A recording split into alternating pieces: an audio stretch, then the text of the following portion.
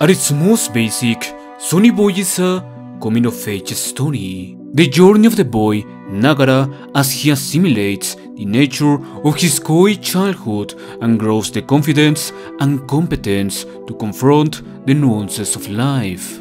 Of course, the catch with this anime is all the sci-fi dreadfulness, allegories and theological and existential crises that compose its narrative. Spoilers ahead.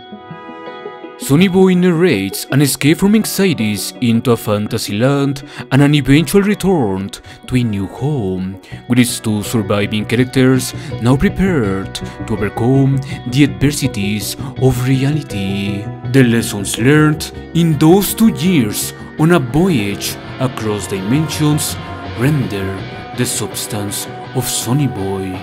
But as a story, Sonny Boy leaves most of its subjects unexplained. Sometimes Sonny Boy likes to infer meaning, but other times its symbols are thrown against the ocean of the plot, left loose for the viewer to discover and connect its implications. Although certain aspects of this series become concrete through their frequency, consistency, and use of foreshadowing, there are far more vague moments up to individual interpretation. Naturally, this video contains both my deductions and interpretations of the story. In addition, I included numerous references to several philosophers. It's important to clarify that I'm not stating that the director Shingo Natsume planned any explicit reference to these philosophers. Instead, they are a crutch to expose oncoming complex ideas already digested by those thinkers. And considering the tsunami of different subjects and the stir of Sonny Boy's narrative, to navigate it all is going to take us like over two hours. Jesus Christ. Let's waste no more time. In this world, time is subjective. It builds at a different pace for each person, each action, or each place. Weeks turns to years as days come and go without notice, for the flow of time itself is convoluted. It starts with a group of students. Ah, Their fragmentation around different dogmas and conditions is instantaneous. During the second conversation of the series, Hoshi starts to refer to his classmates as sheep, a recurring symbol of devotion and obedience to God in Abrahamic religions. And of course, Hoshi considers himself their shepherd, an obvious allegory of a prophet or savior. With ambitions that encourage dominance, Hoshi initiates a social contract of rules and rulers duties and punishments, and corruption and abuse. And for those in doubt, the shape of death his powers may summon. Hoshi doesn't care about anyone's point of view or well-being. He will happily keep his classmates blinded by ignorance and despair as long as they do what he says. Once they reach Hatena Island, despite their lack of need for more resources, the students start to organize around their social growth. The conditions for an economy materialize and with it, tension arises. A cycle of labor and consumerism becomes the only role assigned for many adrift students. In contrast, other students can relax, have fun, or, like Mizuho, live like royalty, separated from the stress and concerns of her classmates. But as inequality increases, so does the tension between students. A flashback to the real world depicts a similar conflict. A rigged student council election not only goes unpunished, but instead fires back at the person who believed in doing the right thing. The rules are different for the elite, and the problems they create are beyond individual effort. A lesson in life for the girl who can have almost anything. But preaching the words of God as a social unifier also demonstrates its inefficiency. Cautious efforts to keep everyone united under one dogma and the fear of damnation fall short against the influence of money. Meanwhile, as the students' day cycle becomes monotonous, the gap widens. Long hours of hard work under the sun's heat await the commoners without powers. Their well being is not a priority. But for the ones with power, workloads are easy and carried out from comfortable positions. A benefit present even for those without much talent. This situation highlights how their division doesn't reflect the efforts or achievements of some students above others. This is not a meritocracy. If we draw a parallel to real life, the students with superpowers are like the kids raised in wealthy families, while the students without superpowers are part of the proletariat. Indeed, their situation is not too different from the real world. But there is a catch. In our real world, the social status of those with power is difficult to achieve. But for those rejected or unable to meet the social demands, a window of opportunity closes. Hikikomori is a social phenomenon in modern Japan where a person, usually young, isolates themselves from society, avoiding the pressures of school and work. Wrapped in curtains, Hatena Island hides a similar comfort zone. As a result, the only trace of these people's existence is from the stain they cast on the rest of their community, the shell they leave for everyone else to see.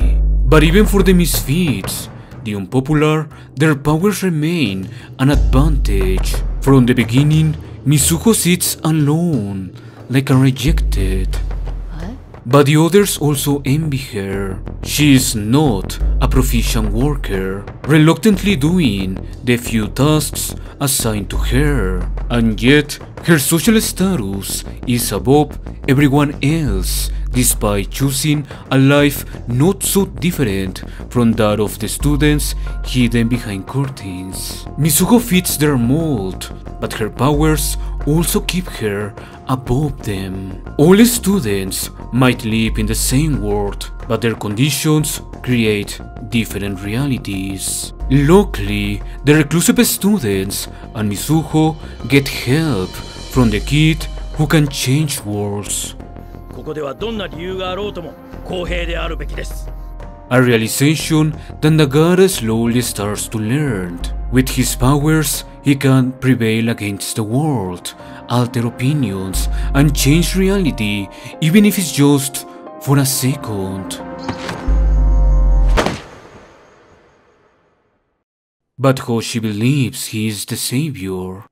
Seeking to spread his enlightenment of nepotistic basis, he volunteers to go adrift by attending a school on the day of the rapture.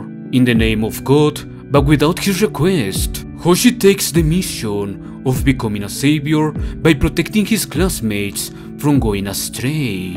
知ってることがそんなに偉いのああ僕は偉いんだ It's all about his vanity. But Hoshi believes he is the messenger of God. For that, he spread his credo to this community of students until he finds himself face to face with a person sent by God.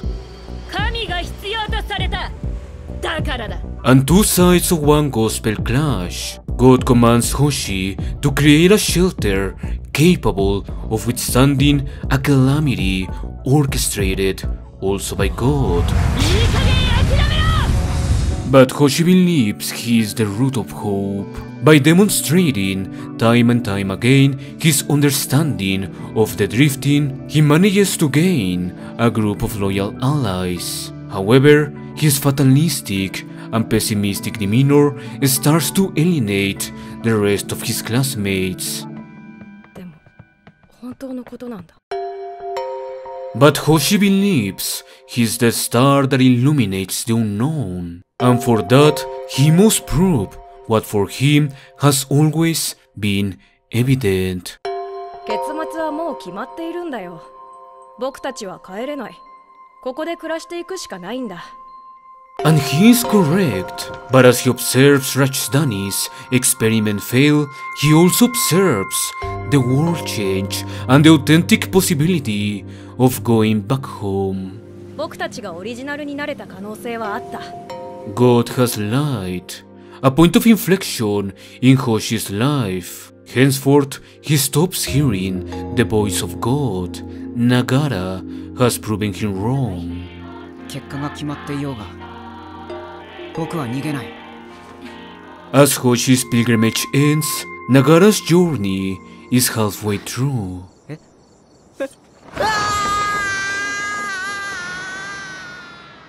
During his trip to Babel, Nagara observes a light in the sky called Heaven. An unfinished tower aims toward, but its progress moves backward with no apparent end. And at the top of the tower, the elite, the beatnik as they call them, are the managers of this construction. Comfort is the routine. And at the bottom, the idea of hope, a goal for the devotees to crave, but not to obtain. In this tower, there is no progress. If we look at their conditions through the lenses of historical materialism, a civilization advances by how its means of production shape the conflict of classes. But these workers have no ambitions. They get distracted, building a tower for thousands of years without thinking about it. In their complacency, they get stuck in an era without progress or history.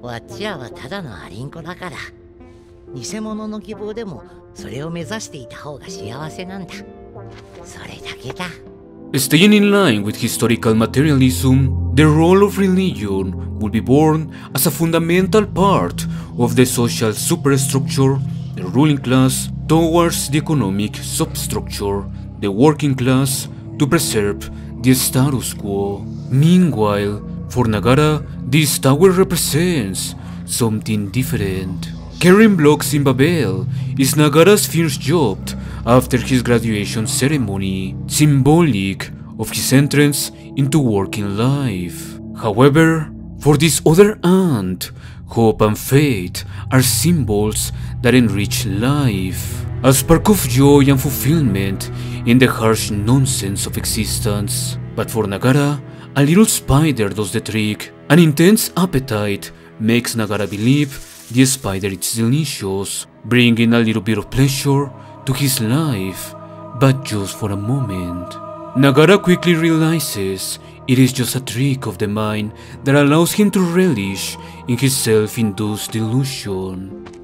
塔の建設だって同じさいつか天国に行けるなんてこと本当に信じてる漂流者はいないんだ Their doctrine is a web of decay and submission that constrains life's aspirations. It makes them docile to the abuses from the elite above, like a predator that lures its victims by casting a light amid the darkness.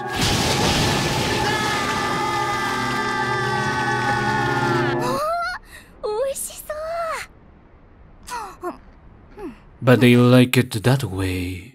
And the world is upside down. This group of students organize themselves into a social structure that encourages abuse from the ones above, for perpetual hard work feeds their hopes. A similar idea is explored in Max Weber's book The Protestant Ethic and the Spirit of Capitalism. According to Weber, Protestant Christians, specifically Calvinists, cultivated a capitalistic spirit through the idea that hard work leads to salvation, as Calvinists saw their dedication to their job as an expression of their affection for God.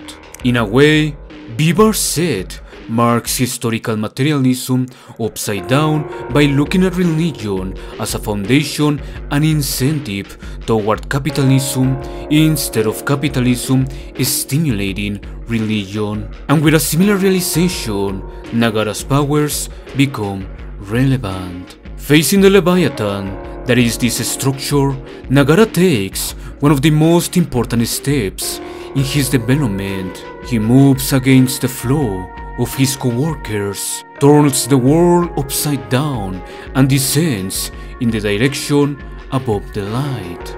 Heaven is artificial. これは全て人間の手によって作られる巨大な空っぽだ Finally, Nagara is back on the island, a place where a similar need for faith and acceptance allowed a few to exploit the students' vulnerabilities. In parallel to some real-life religions, the students at this point segregate into different communities. The branch of Hoshi, the followers of Aki, and the duet of Nagara and Mizuho, whose friendship grows stronger with each episode. Three groups and three different views of one god, despite all of them hearing the same voice. 私聞こえたんだ but then we have our best boy Rajdhani embarking on a solo adventure to seek the truth, the only character whose fate, we are told, is not in God. Probably a reference to his Buddhism, a non-theistic religion that prioritizes a healthy mind over any belief in a supreme creator. So with a gift in hand and a farewell hug, but no direction to go, one last person must remember his fate, or rather, how he lost it. It all starts with an allegory, a baptism.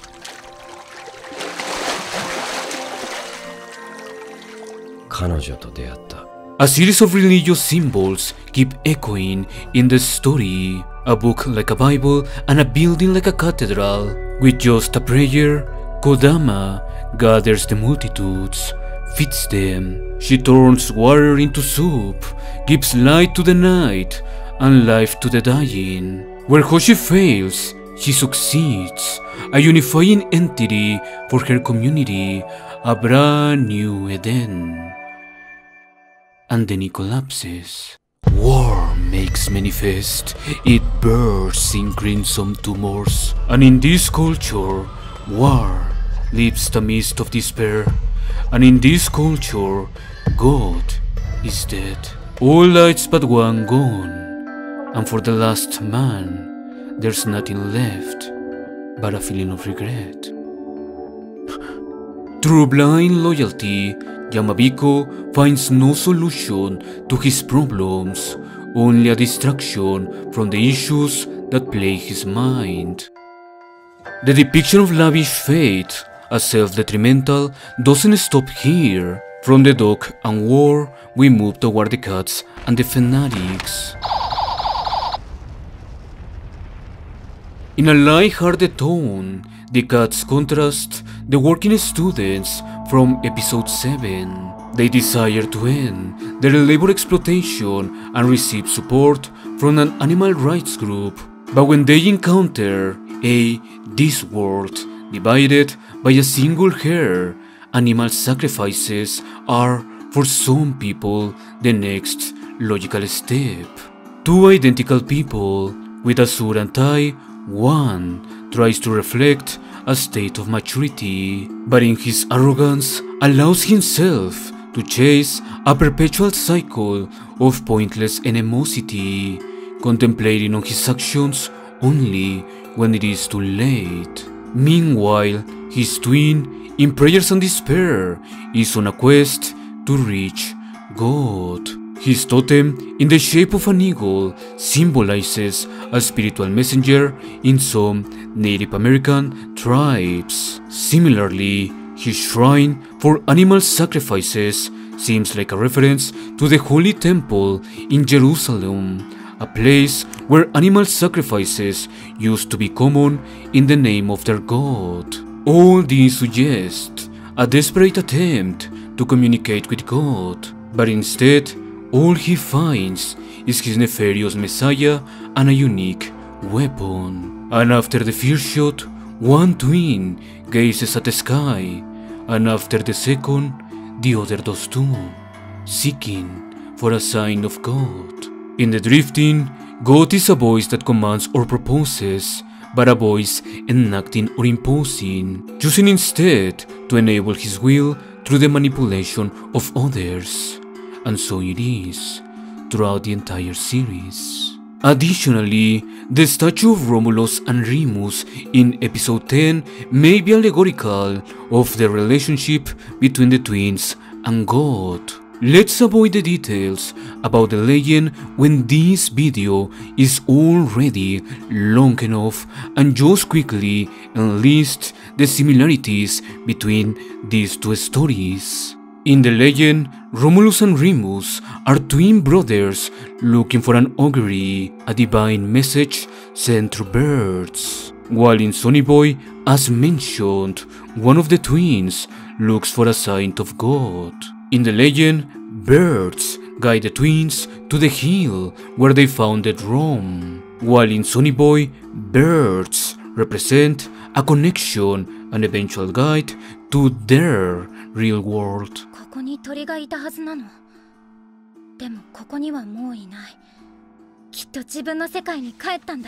In the legend Amulius, usurper of the throne, sends his servant to kill the twins, although he fails. While in Sonny Boy, it is implied that God sent Aki to manipulate the twins into killing each other. Unlike in the anime, Romulus ends up killing his twin brother Remus. The final link to the legend is the father of the twins, Mars, the god of war, a figure Amulius feared. Of course, war in Sonny Boy represents all those in direct opposition to God. 神を罵り森を焼き払う肉を食い荒らし断食人たちを侮蔑した The identity of the inventor of death is a mystery. But let's be clear, everything indicates that the person in question is Hoshi. There is plenty of evidence. In particular, his eyes and hairstyle match that of the person shown in Rajdhani's story. It all goes back to episode 6 and God's deception shattering Hoshi's understanding of the world. Soon after, a confession.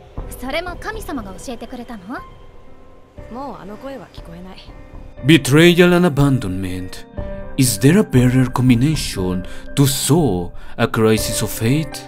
There is also foreshadowing. Despite Hoshi only utilizing his powers a few times throughout the entire series, every time he unveils them is to paint on foreign minds an image of death and misery, all for his conviction to be a savior. But Hoshi is not a savior. He is the inventor of death and an adopter of war.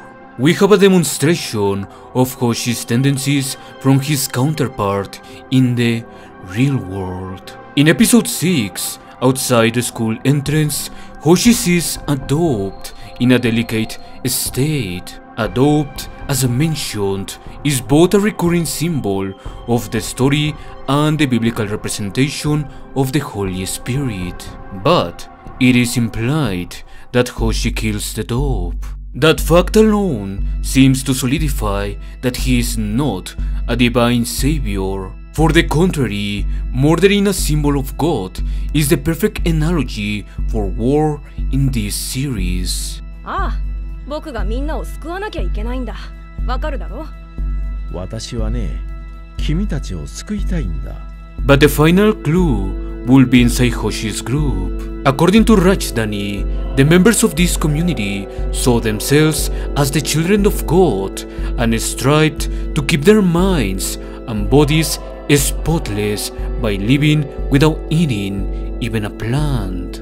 The description of their communal behavior is almost like that of a cult, but unlike its dreadful real life homonym, their behavior makes sense in a world where hunger cannot kill anybody. What is suspicious is their goal to be spotless. That language sounds like a cult, an indoctrination that removes liberties. However, Rajdhani disagrees with that interpretation. Yeah, 彼らは案外幸せだったらしい。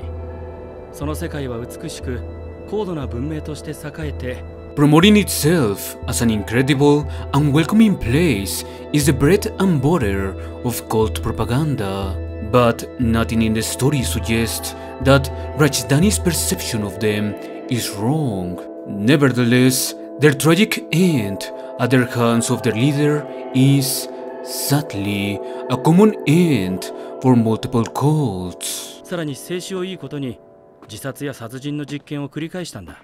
As Hoshi's horrible actions follow his hatred for God, it becomes necessary to look at the relationship closer. After all, some hints in the story suggest they could be family. Not only are there some physical similarities between the two, but the only family member that Hoshi mentions in the entire series is his grandfather, who in episode 2 demonstrates authority over the school, just like a principal. This will help explain how Hoshi sustained a relationship with God long before the drifting. Furthermore, their personalities are alike, with their affinity to manipulate the people around them. 君がみんなを救うんだみんなが君に救いを求めたのか And with all the religious symbolisms in the series, it's even possible that they might be two versions of the same person. 神様みたいなこと言うんだ君 In other words, we have the grandfather, the grandson, and the Holy Spirit as a motif of the series. Hoshi at multiple points even talks with the voice of God. 漂流はなぜ起きたのか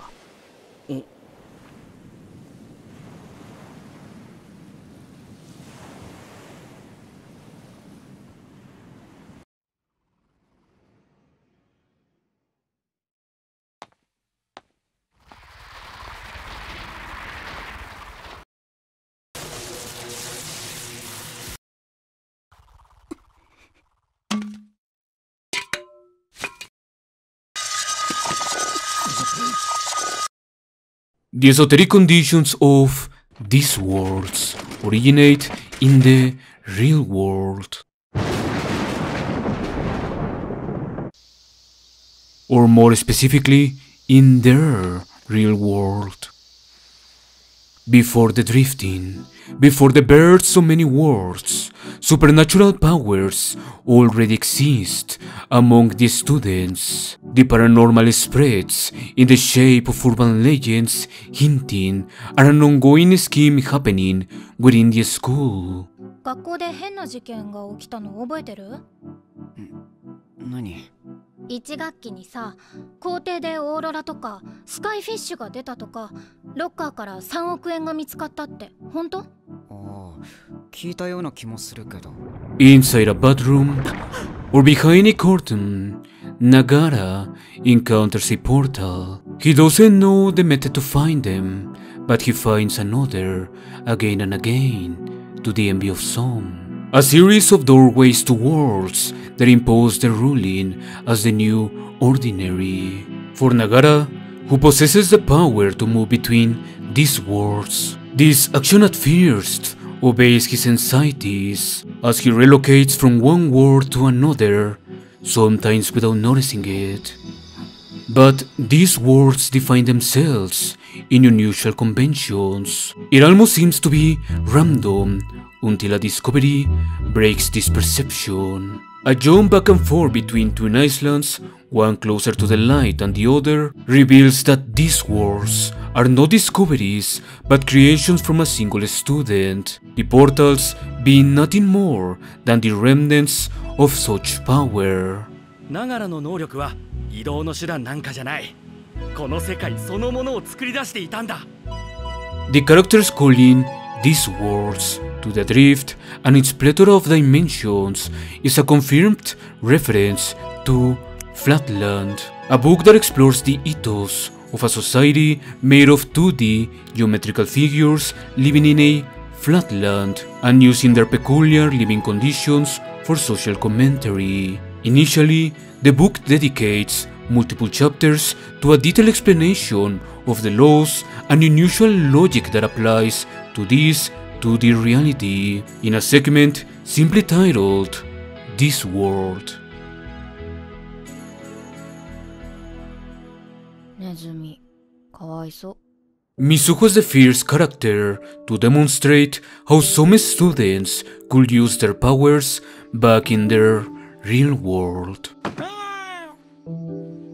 With just one order and the help of her three cats, Mizuho can possess almost anything she wants. But upon closer examination, it's all just a copy. Everything Mizuho orders and everyone who lives adrift is just a copy, even the cats. But slight variations create different results. Two clones of the same person demonstrate this, but I think a better example is their teacher Aki and her clone Adrift. For the little we know and how little she appears, the Aki in the real world is actually a kind and sweet person, opposite to her Adrift version who imposes her authority through anger and disdain. A contrast between the two that the students are quick to notice. The revelation that Aki and the thousands of other people imprisoned adrift originate as cloned students adds to the mystery of how the rapture happened. Guilt follows Mizuho, yet episode 10 confirms that the power to select, copy and transport anything or anyone in never belonged to her but to the three cats. And so, Mizuho's true power remains hidden from everyone else, for its uniqueness carries the engine of their new lives.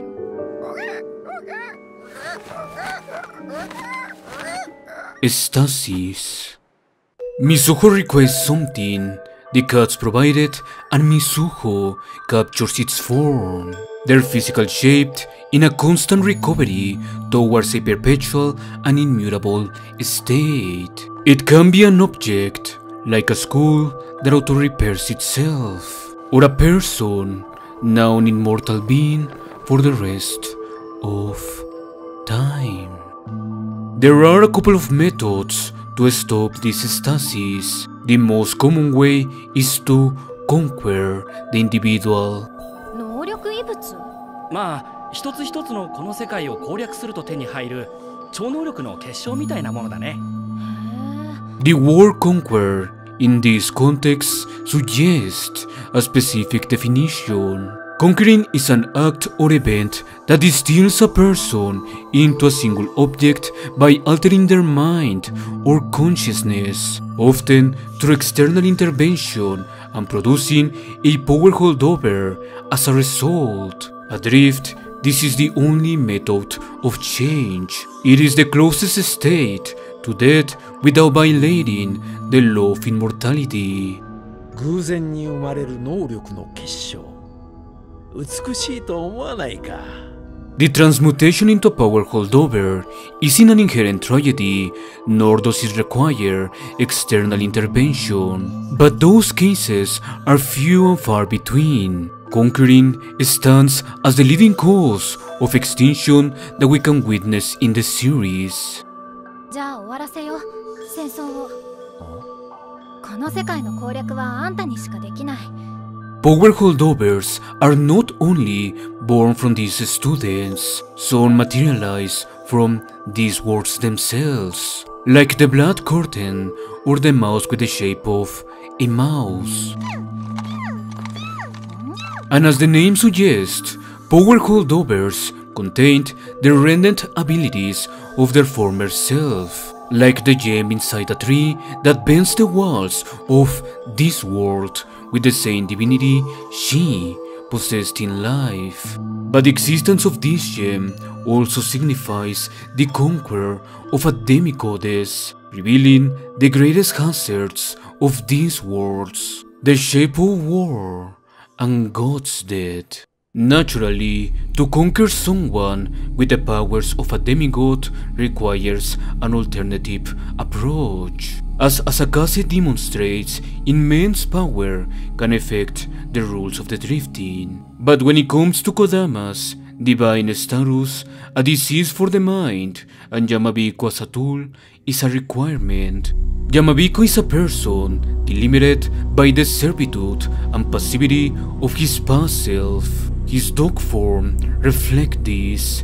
It is a variant of the conventional power holdover and the result of following Kodama like, well, a dog. 犬になろうが私の本質は何も変わらないそうだろ存在とは He says that while acting like a dog, his true nature is like a dog.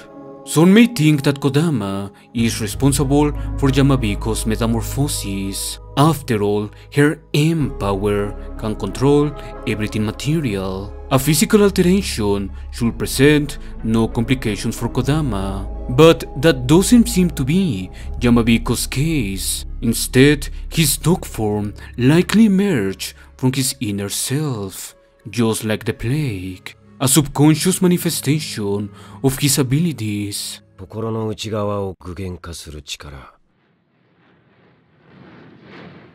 それが私の能力だった An epiphenomenon of Yamabiko's mental status creates a this world that manifests like a series of tumors. Yamabiko conceals them, but war imports this world and spreads it around. 傷そのものの原因はこの世界の外で起こっている事象にあるんだよ In such a resonance with his own power, the dog form serves Yamabiko as more than an expression of his identity. It becomes the shell that hides his insecurities from the world and himself. But war disrupts this idiocy.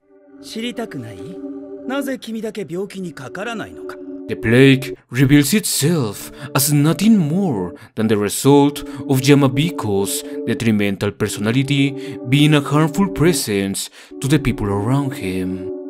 奴は自分が持ち込んだのは疫病ではなく別のこの世界だと言った心の傷が腫瘍となって具現化される世界 Kodama cannot heal those wounds. The plague is not born in the material world, but in the mental world. Kodama, with the power of M, could shape space-time at her will, but the mind and the subconscious are in a realm beyond her reach, beyond her powers, and even beyond her introspection. And in those conditions, all Kodama can give to the mentally ill is a bit of hope. 私はいつの間にか自分の殻に閉じこもっていたんだだから私だけが疫病に侵されず教会の内側では小玉の力も意味をなさなかった Yamabiko may be immune, but his substance is endemic. From his shell, he stays distant, observes the calamity of a civilization, and remains as the last man amongst the ruins, Choosing to sleep over a deceptively simple solution. 君自身が変わればいい自分の殻を破って外に飛び出せばよかったんだ War shows otherwise. As the only creature who has recovered from the disease, this immoral being represents the antithesis to Yamabiko. He doesn't wait around, for he is deterministic with his life and holds pride in his actions, the necessary components to overcome this plague. War's antisocial behavior, indifferent to the lives of others, is not unlike the other versions of himself. 忘れちゃったの僕たち前にも会ったことあるのに君は見てきたはずだいろいろなところでさそれも一度じゃない何度も The series implies more than once that war exists as several people, each a new vessel offering a different yet similar experience. In episode 10, it's petrification. In 11, it's torture and an electric chair. And in 8, it's, of course, an epidemic. And that's their origin point. A love for death, seeded for everyone else to experience. Death breeds wherever they go. Under such a mindset, the story suggests that to be war, the vessel must scrape their own death. Thus, in his debut, War shares the illness he helps propagate. During his second appearance, War falls in the endless crevasse he forged, and in his third exhibition, War loses all longing for life after rehearsing his own execution. Ultimately, the achievement of the multiple versions of War is a sense of emptiness, shunyata, and anatman. It is not nihilism, but a hollow existence. この人空っぽだ They have nothing left to live for or contribute to the world, no sense of self or capacity to change, an extinction of all thoughts sustaining their introspective emptiness. And it's this self-extinguishment that marks the end of the drifting, and plastic death becomes the release. But maybe there are other routes.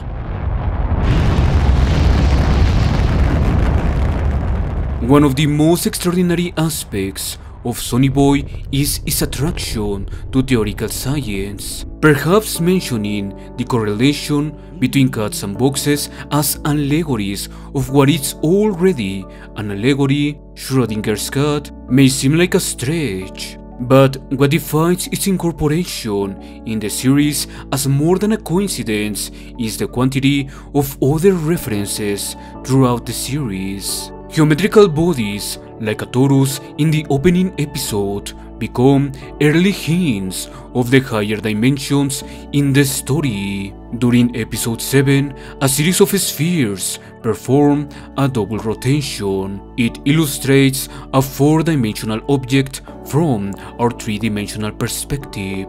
One episode later, we get a payoff. Kodama manifests with her M powers a tesseract, a four-dimensional cube.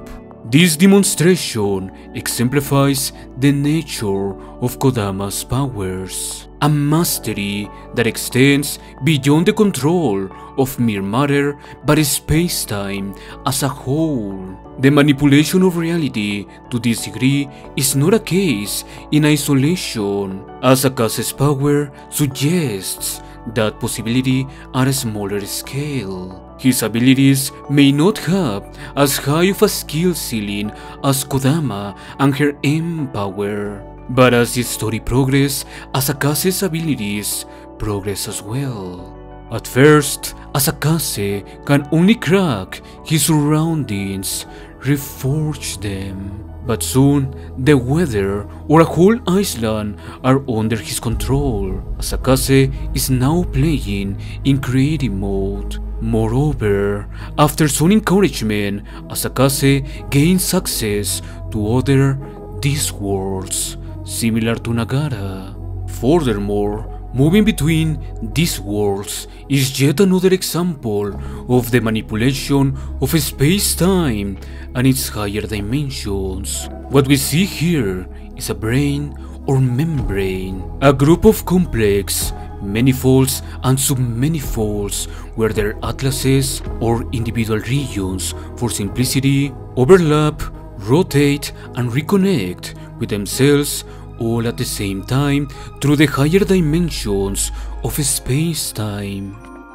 児玉はここにある全てを意のままにコントロールできた皆はその力を M と呼び彼女を神のごとく崇めていたんだ Adrift, a person capable of manipulating the dimensions of space-time, such as Kodama could perform a unifying role across these worlds, akin to a deity.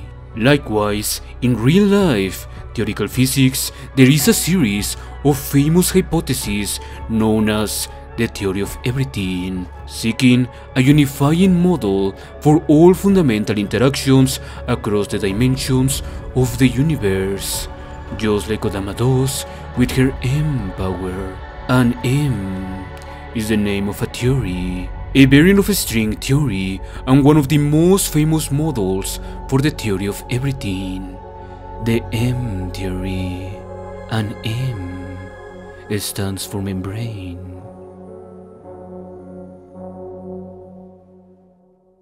The remaining mystery is if people like Kodama can form new these worlds of the Nagara variety. Kodama demonstrates the capacity to create new lands, and Yamabiko can materialize what exists within his mind as a this world. But Nagara's these worlds are different. They are not just new places, instead, they are new realities, alternative dimensions with specific laws that at first Rajhani assumes Nagara created until new discoveries enlight the truth. 君は世界を作っていたわけじゃない可能性の箱を開けているだけのただの観測者なんだよ The box of possibilities is another reference to Schrödinger's cat and helps explain Nagara's true powers. He doesn't directly move between new these worlds, for the birth of many of those realities can occur with his arrival, but he's also not responsible for the direct creation of any new this world. The reason is not simple. These worlds are initially only possibilities, nothing more. But their existence arises from an observer effect, a sort of measurement emanated by Nagara's powers. Such interaction with a drift function makes those theoretical possibilities become a reality, a transition from the possible to the factual.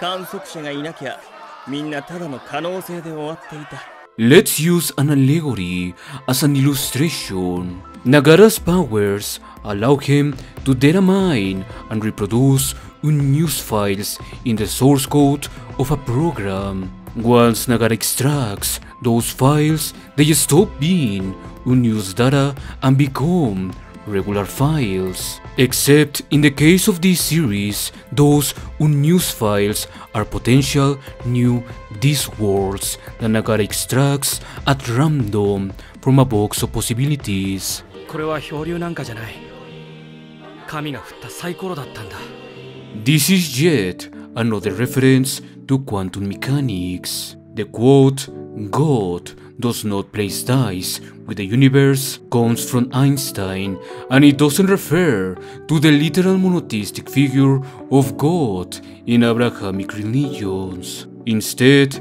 Einstein's quote is a response to the Copenhagen interpretation, which postulates, among many other things, that a foundation of quantum mechanics is its non-determinism. Within this context, Einstein's mention of God references pantheism and the notion that a divine being only exists as a part of nature, our universe, and its laws as a sum of the whole. According to Einstein, within this deity that is our cosmos, randomness has no place in it. For the classical mechanics of the universe are deterministic. Einstein's refusal to accept non-determinism in science, contrary to Heisenberg's uncertainty principle, has become one of the most controversial aspects of Einstein's career.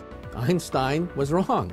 God does play dice. However, before fully connecting all this verbiage to Sonny Boy, we still need a little bit more information. Quantum fluctuations are random changes of energy containing virtual particles. A transient state where a particle and an antiparticle appear from nothing and then nullify each other to avoid violating the law of conservation of energy. But Hawking theorized that the radiation from a black hole is the result of a series of virtual particles appearing at the event horizon, a sort of edge of the black hole. In such an event, the black hole will absorb one particle while the other remains outside and, as a consequence, transforms into a real particle. Today, Hawking radiation and especially quantum fluctuations are fundamental in the origin of our universe under the cosmic inflation theory. Now, if we apply this information to Sonny Boy at random, one group of students remains within the boundaries of their reality, while their exact replicas are materialized in absolute darkness, like the inside of a black hole. It is a process allegorical to Hawking radiation, but in reverse. Thus, for one group of students to remain in their reality, the other must carry the opposite charge by going adrift. 君がいるからこの世界は存在している。 The result for Nagara and his friends is that they have become cosmic waste. 君たちはもう必要ないんだよ。The students we follow are fluctuations in the system of their reality. Their selection, cloning, and transportation adrift is a mere part of the random process of these worlds But that is all. An act of nature, void of intentions, purpose, or significance beyond any meaning the students can create by themselves. この漂流に一体何の意味があるんですか意味なんてない無駄 At this point, it is important to clarify something. The director of Sonny Boy, Shingo Natsume, is not a physicist, and neither am I. Which means that this series is not trying to be hard sci fi, and my reasoning is open to correction from people with more knowledge on the subject. Nevertheless, for the narrative of this anime, its vagueness is for the best. When most movies, books, or TV shows incorporate quantum mechanics into their plots, the resultant story comes out as pretentious pseudoscience. That doesn't mean that no one can consider Sonny Boy and my comments about it to be pretentious pseudoscience. But the fact that Sonny Boy doesn't overexpose or brags about its concepts allows it to incorporate science into the plot but avoids making it easy to nitpick while working thematically in favor of the narrative. じゃあみずほはあんた今まで何やってたのえ私うーん私今まで何やってたんだろう There might not be a why in Sonny Boy, but there is a how. Nagara can only look at the box of possibilities, but that fear requires someone or something that can provide that box. When Nagara discovers that his powers can generate new these worlds, he embodies a paradigm change. The enigma of the drifting begins to focus around him. Guilt follows Nagara once his classmates accuse him of being responsible for their school going adrift. And they aren't wrong. この漂流はナガラの能力によって引き起こされていた But the accusations don't stop there. From the perspective of many other generations, Nagara is solely responsible for the thousands of students trapped adrift. その観測者がついに発見された全ての漂流はこのナガラという人物により引き起こされていたんだ Nagara is responsible for the materialization of multiple Discworlds and the drifting of his classmates. But it is unlikely and oversimplistic to consider Nagara responsible for all the other cases of drifting, and the evidence is in his favor. 私は君らが卒業した年に入学したからなそんなことってそれだと未来から来たってことになる時空は歪むものだ Every single one of the student generations adrift arrived at the same age, 40 years old, and only months away from their respective junior high school graduation. 8ヶ月ぐらい人生にとっては誤差の範囲内だろ From the point of view of our protagonist, the day of rapture for their schoolmates exists in either their past, future, or a completely alternate reality with only their school as a constant. 君らは何か勘違いしてるみたいだが 私も君らと同じ白糸第二中学に通っていた3年の生徒なんだぞ。The moment of arrival for the clones of a generation can vary by hundreds or thousands of years, as is the case of Yamabiko, creating a context in which Nagara cannot be responsible for all those people drifting across time and dimensions. The responsibility must lie elsewhere in the person or the place that is a constant.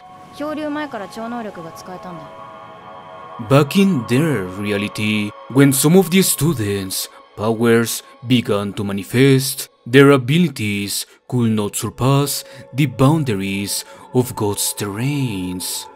学校でしか使えなかったんだけどさ In Sonny Boy, for a reality to exist alongside the paranormal, it first requires it to be a type of this world. ナガラの能力がこの世界を作る行為でその能力が元の世界から始まっているとすれば能力が使えた学校の中もある種この世界の一つなのかもしれない漂流が僕たちだけでなく同じ学校で繰り返し起きていたというのはそういうことなのかもしれない In essence, their school has always been a this world. Nevertheless, how the students outside Nagara's class went adrift remains a black box. The series only provides enough information to determine that Nagara is not liable for the rapture of every single student. But at the same time, Nagara is responsible for the drifting of his classmates and himself. However, he is nothing more but another tool for God to use.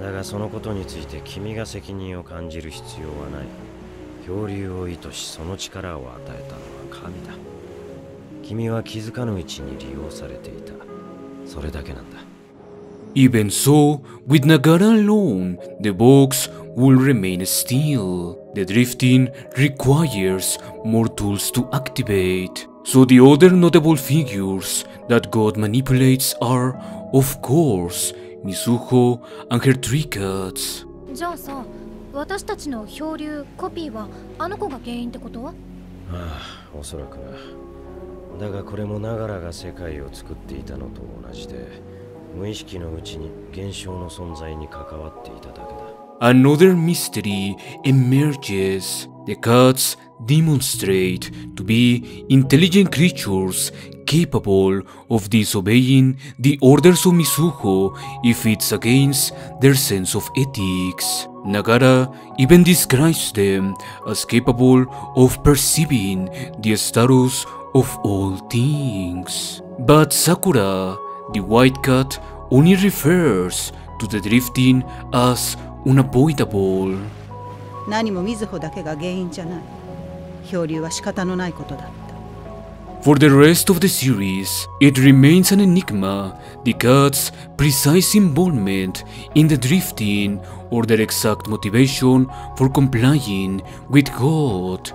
神様君が漂流を起こしたんだって言われた On the other hand, Mizuho's involvement is emphasized when immortality becomes the defining factor for all lives adrift. ラ谷は猫の気持ちを見落としていただから瑞穂自身の可能性に気づけなかったのか Stasis is the engine of the drifting, the one unbreakable element across all these worlds. It allows the adrift to exist as it is and preserves the box of possibilities open for use. これが知れて責められるのはあの子だからね But Mizuho is not to blame. The drifting is the synthetic product of God's supplies of powers on his terrain. この漂流は彼の意志により引き起こされている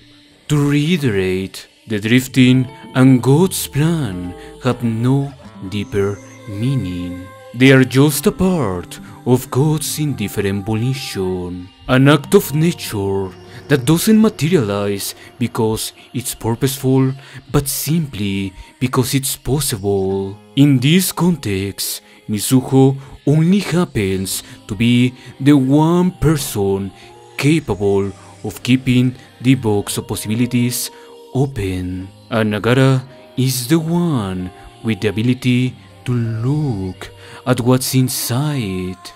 前提として起こりうることしか起きないようになっているんだ The drifting is a fatalism at the belly of their reality. In conception, long before the students even knew about their powers. 校内で使える不思議な力 I know that many people who watched Sonny Boy chose to dismiss most of these technicalities in the story. That makes sense. After all, the narrative declines any digestible exposition, and focusing on the symbolic meaning behind everything is in a wrong approach to this series. Nevertheless, after multiple rewatches, it's clear that Natsume cared about all these technicalities. For example, from the very first episode, the story foreshadows the drifting mechanics and invests time in figuring out its mysteries. But in contrast to other mystery shows, Sonny Boy retains its internal consistency all the way to the finale.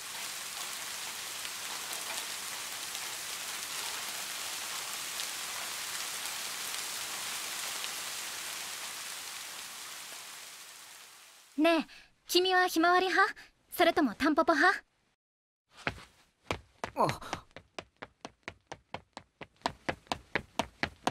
Within the lives of every one of these students,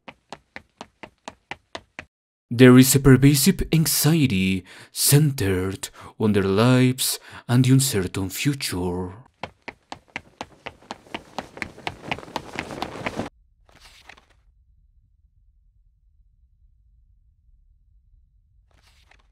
A little bit of time vanishes at every moment, while the commitments of adulthood soon to fall into their hands boil the pressures of life, no matter how young or unprepared they are. あの子はまだ何も知らないから一人で生きていけないんだから私が一緒に Precisely in these circumstances, the drifting is not the origin of anxiety, but an expansion of the reality system across contamination disease.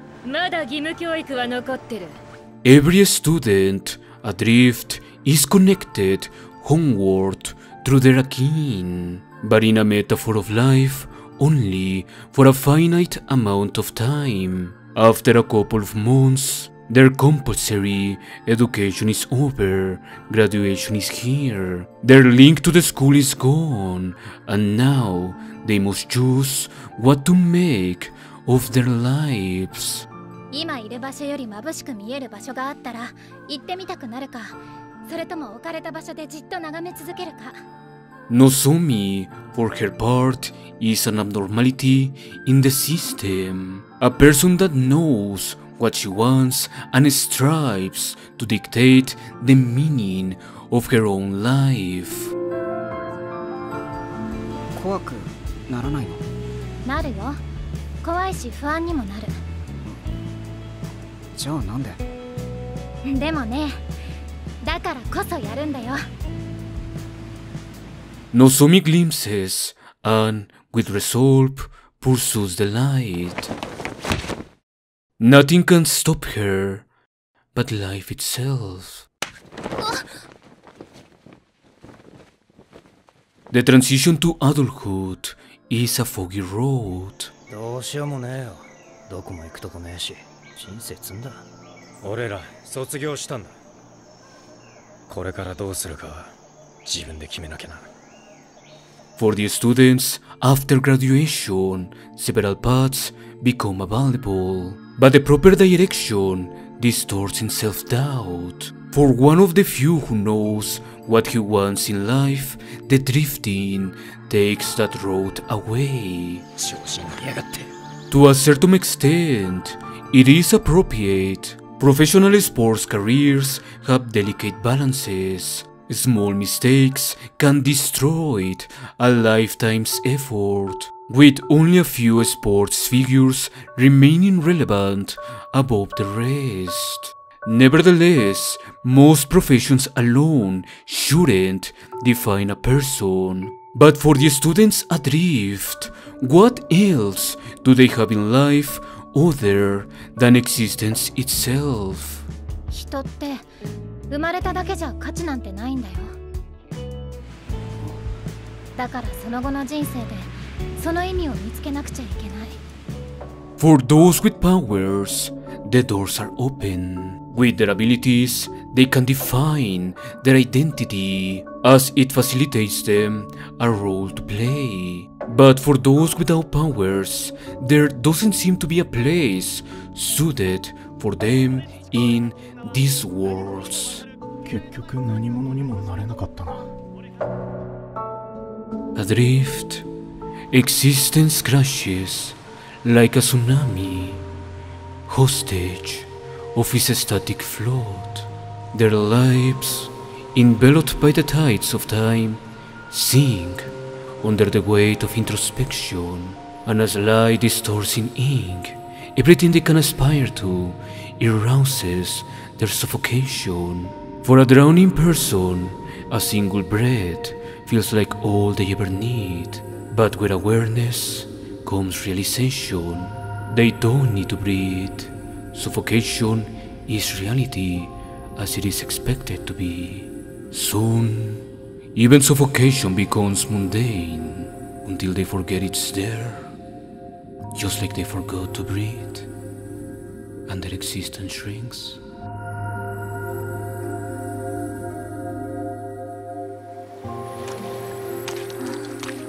Among this existential chaos, one girl chooses to hide a piece of herself. 私は人の心が読める正確には相手の思考が 物語のような語りで聞こえるのだ Let's pause for a moment and point something out. I don't know Japanese, so for this video I had to trust Funimation's official subtitles, as that's the website where I originally watched this anime. However, this is one of the few mistakes in the subtitles that I'm capable of noticing. Tsubasa doesn't say that she can read minds, but rather that she can hear hearts. That is not a superficial change. The description of her powers is not a romanticization or an elaborated way to describe telepathy, but a distinctive aspect of her abilities that we must remember when we see her interact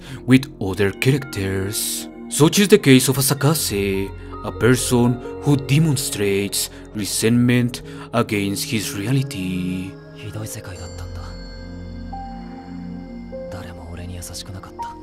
That grievance feeds his insecurities and forms a persona made of jealousy and envy.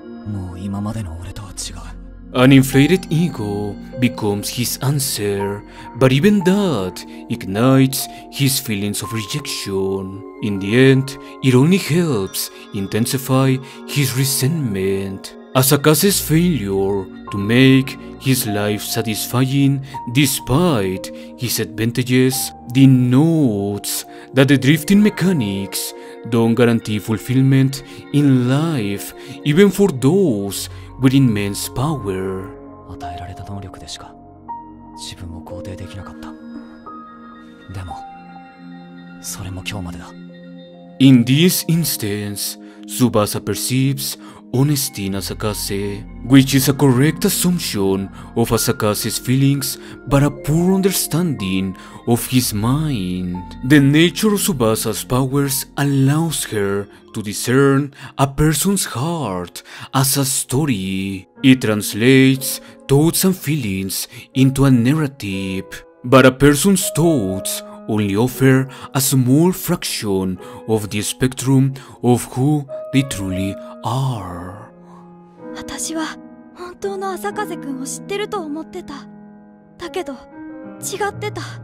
What for Tsubasa is inaccessible in someone else's mind is what, even for that person, remains beyond their self understanding, what stands in their subconscious. It is the fundamental flaw of Tsubasa's powers. Nozomi falls. Anasakase allows it. A decision that Asakaze himself cannot reason or justify. So to defend his ego, he blames Nagara Resentment. Perhaps it may seem like it has no relation at first, but the classic film Stalker actually handles this theme beautifully. A quote in particular perfectly illustrates what we're talking about. Здесь то сбудется, что натуре твоей соответствует сути, о которой ты понятия не имеешь, и она в тебе сидит и всю жизнь тобой управляет. Ничего ты кожаный чулок не понял. If trying to pursue meaning or fulfillment fails, then the antithesis is to stay in harmony. Not Taoism, but passivity in life, turned into a dog and chew a bone. あてもなく世界を渡り歩いていた苦しみも喜びもない日々をやり過ごしただ生きながらえ An attitude that doesn't trace reason, but instead orbits around doubt, avoiding distressing emotions until it collapses with the results. 俺は後悔ばかりしている気がする人生のほとんどをそれに費やしてるそしてまたそのことを後悔するんだ Resentment. inactions, shape predicaments when Yamabiko's lonely experience collides with Kodama and her mundane insecurities submerging beyond her demigoddess reach. Yamabiko identifies those worries and ignores them. Resentment. It is not the first time in the story that blind faith has become a source of tragedy, but this case is still peculiar. In Sonny Boy, most characters possess a name reflective of their distinctive personality. This is not a secret. However, Kodama goes a little further in her peculiar symbolism. As a person, Kodama not only exists in between allegories of religion and theoretical physics, but also stands as a reference to Japanese folklore. Kodamas is the name of the spirits of the trees, protectors of nature and creatures of peace, most of the time, making an exception only against those who damage the environment. So Kodama in Sonny Boy symbolizes a profound connection with nature. And let's remember, in this series, God and nature are self-same. Kodama is, therefore, a representation of religion, nature, and science existing in unification, an imposition over her shoulders that she accepts with inner reluctance. だって僕に選ぶ余地はなかったんだもの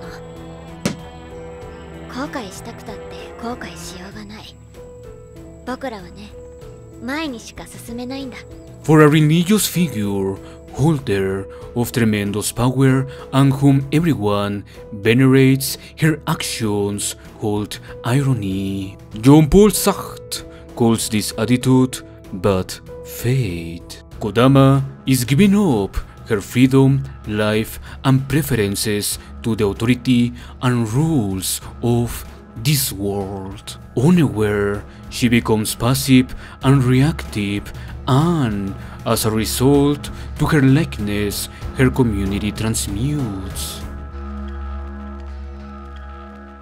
彼女は皆の希望であり全ての選択を託された存在 Rejection of the truth makes Kodama believe that her powers are enough to cure the illness. But that assumption denies her identity, what she can be, or how she can exist. The path chosen leads Kodama towards regret, idiosyncrasies that stimulate the crimson tumor, or, as Nietzsche defines it, resentment. The result of a person's internalized frustrations, failures, and insecurities. To Nietzsche, victims of resentment or resentment often materialize their inner problems in external entities, like a disease that afflicts the wounded minds of a community until it leaves the last man alive.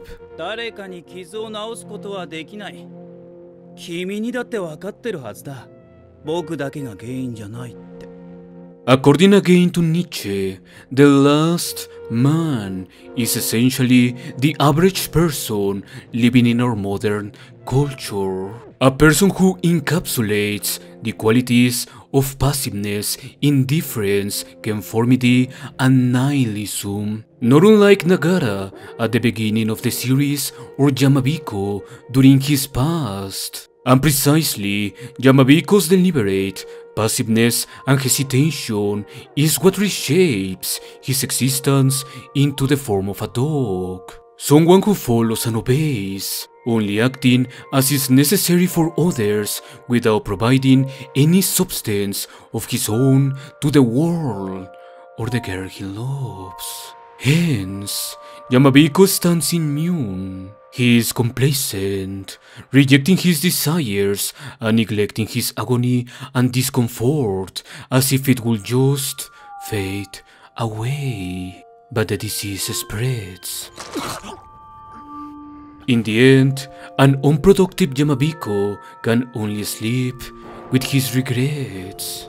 彼女の願いは一緒に外の世界を 歩いてほしいそれだけだった As a side note, the Crimson Tumor in the show takes inspiration from the Tasmanian's devil's facial tumor disease, a transmissible cancer spread among Tasmanian devils through their bites. But fighting each other is innate to this species, a reason why they are a solitary animal. However, contact is necessary during mating season, so the altercations become unavoidable.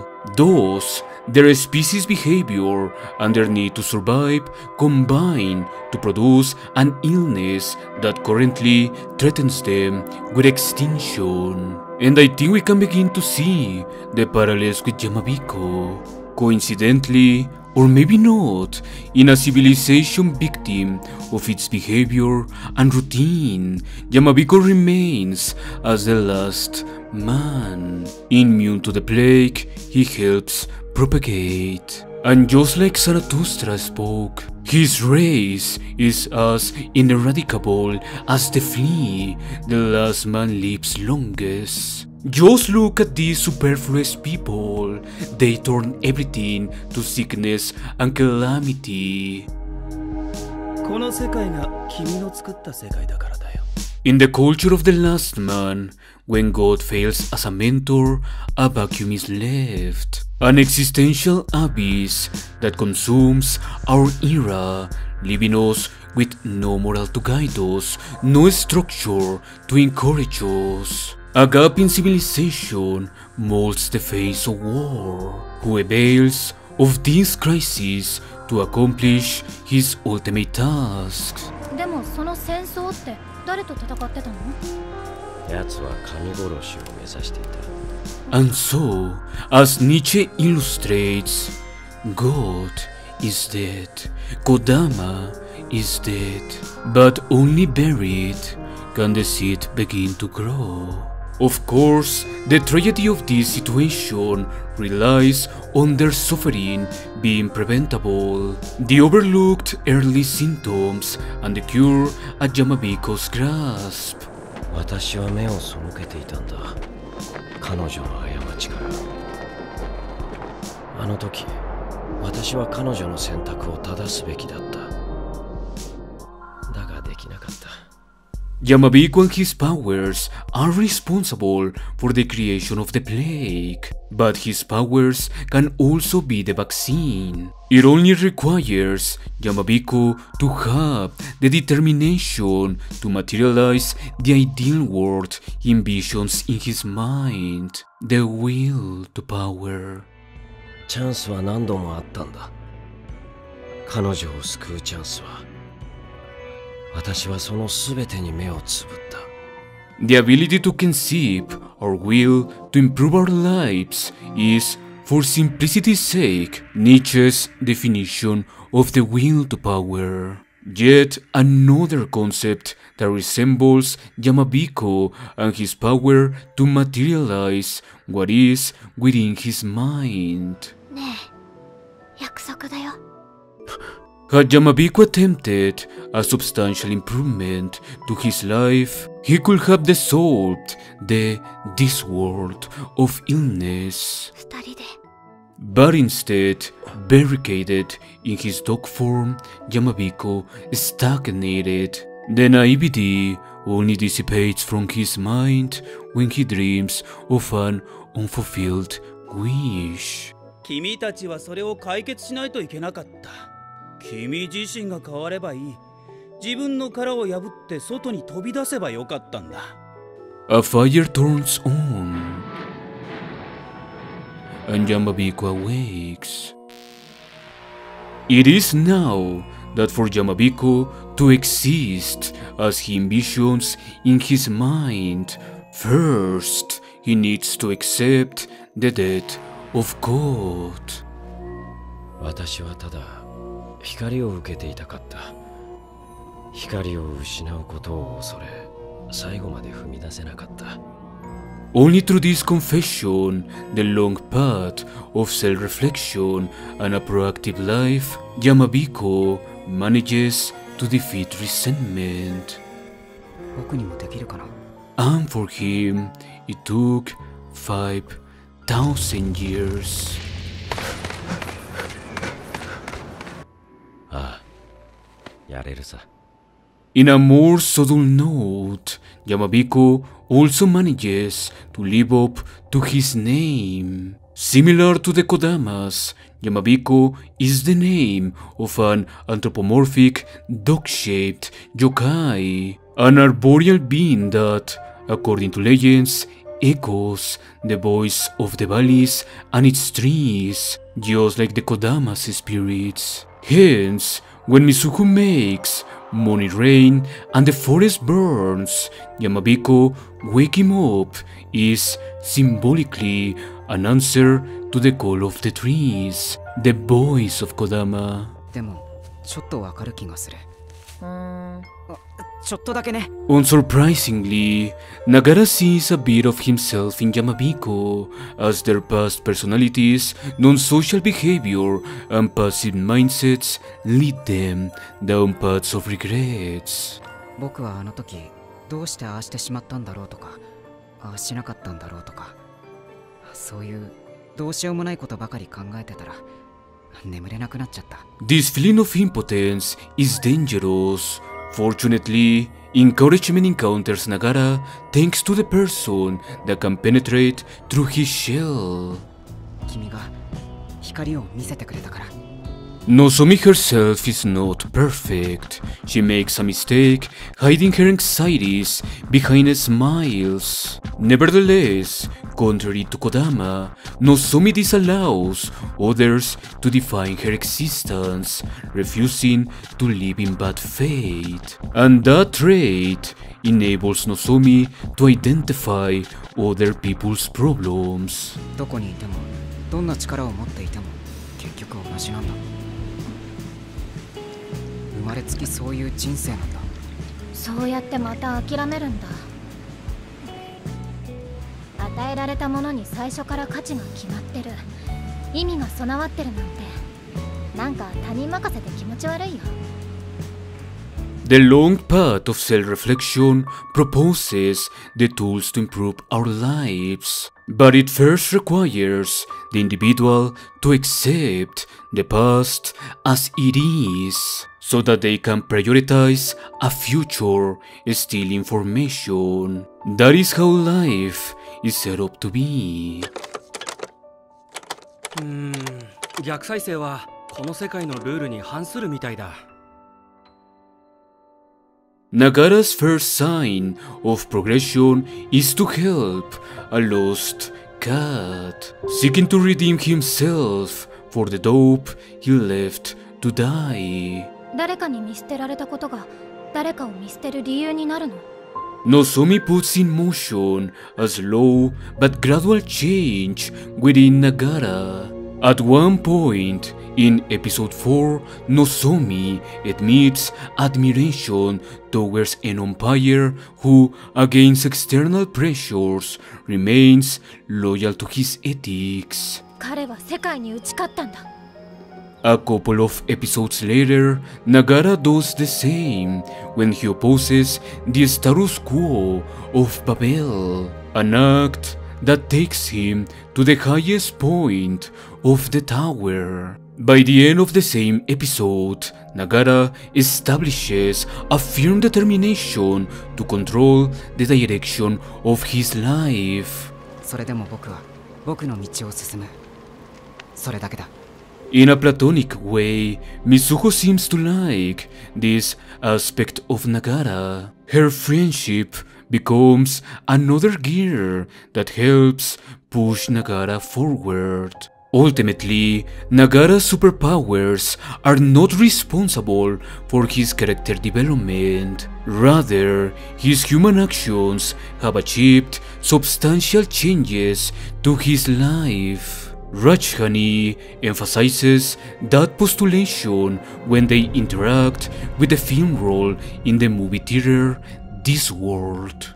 その時は何の変化も起こらなかったこの差は長良がプレビューに参加しているかどうかだけだつまりフィルムを編集しただけじゃ世界は変わらない重要なのはそれを君が見るかどうかだ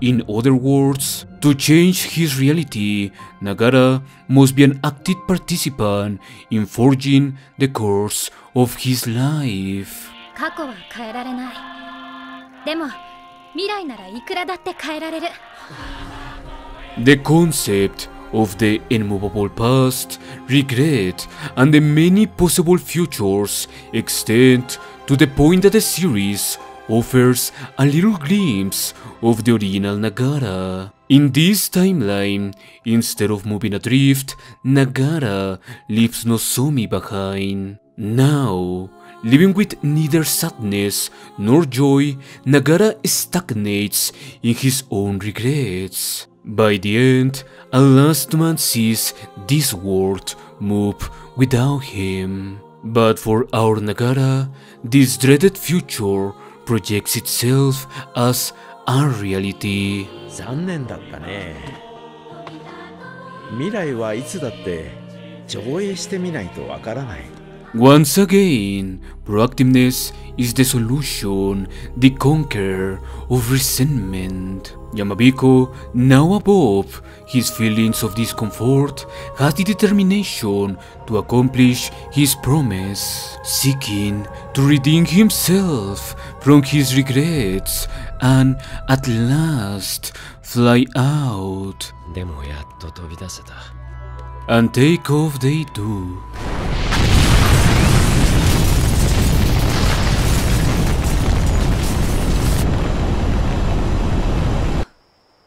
But Asakaze, for his part, remains a victim of resentment, and for many other students, their futures don't look too bright either. On the one hand, the people who follow Aki, gathering as a mass, resemble Kodama's followers, giving up their autonomy to a central figure of stability, while on the other hand, Hoshi's resentment towards God translates into suffering for the people around him. Nietzsche's final prediction asserts his worries about the death of God, that being a unifying entity, and how it will send modern civilization towards its collapse. In that line of thinking, Sonny Boy reminds us that the objective of war is to kill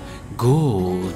And for many philosophers, the collapse of modernity occurred during World War II, ushering in postmodernity. もし殺せたとしてもそれで何かが変わるのかな Nagara realizes that killing God wouldn't solve their problems. It will instead be a mere extension of their issues with no provided closure. In this instance, even proactiveness, the will to power, needs aspirations to pursue. And yet, we have come all this way, and there is still no answer for the students adrift. No objective to acquire, no substance to embrace. 静止した存在の私たちはもう先へ進めないみんなやることもやれることもない列車の行き先も与えられる役割も敵が誰なのかも分かってないんだここにはぼんやりとした不安だけがある Adrift, like a trackless railway, the act of living is naked. All purposes vanish in eternity, and no imaginary can govern life's direction. But they must board the train when the only station is forward in time to leap is an ultimatum. 閉じ込めたり燃やしたりルールで縛ったり漂流してからずっとそうんまるで誰かが私たちを試してるみたいだね Adrift, the students don't need to work. The material goods they can obtain are unnecessary. They also don't need food. Starvation can't happen in stasis. But from these rules and limitations, the students acquire a unique opportunity to reshape their life and obtain a meaning of their own. じゃあ俺がバルモン潰すからお前らは取りこぼしをダメだよはなんだよ穴が崩れて誰も生き残れないよそれじゃ解決にならない The Mice Revolution from episode 5 depicts a little metaphor of the student's predicament. この世界にも希望がないわけじゃないネズミの革命者を助けてこの世界の仕組みを置き換える黄金が絶対じゃない世界違う価値観のステージもあるはずだよ Similarly, in a relocation across worlds, the students experience a shift in what's absolute, a stage where their views of themselves and what they must or should do with their lives are no longer valid. Within this framework, a previous symbol of the story acquires a new foundation. The students' power holdovers signalizes their transformation into objects with specific uses or purposes that sustain their existence. In an ironic twist, reaching the closest state to death in the drifting guarantees that their existence now has a goal to meet. An antidote for the existential dread Tsubasa perceives in her peers.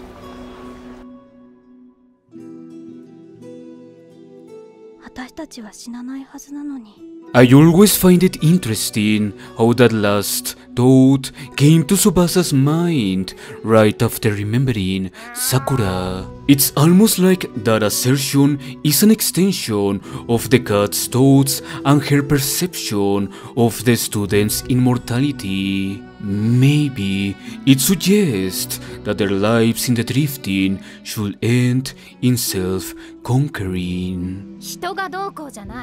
あんた自身が決めた価値の話だ私は帰るよたとえ自分が死んでいようとも私は自分の運命を受け入れる Of course, when we talk about death, we need to acknowledge one of the biggest enigmas of the series. Why is the version of Nozomi in her homeworld dead? And the answer is actually simple.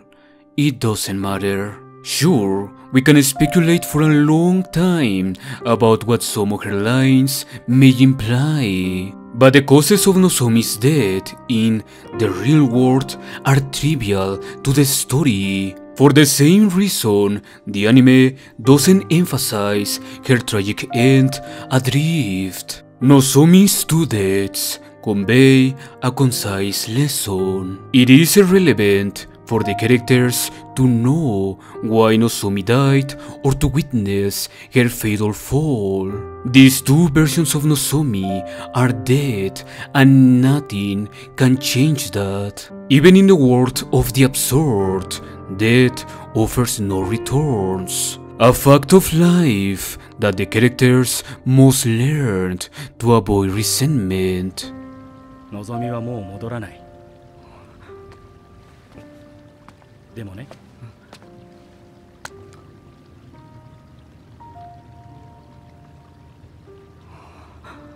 彼女の意志はまだ生きている A power holdover is the legacy of a person. Thus, the lack of death in the adrift serves a purpose. The absurdity of an eternal life slowly directs the students to compose a meaning of their own.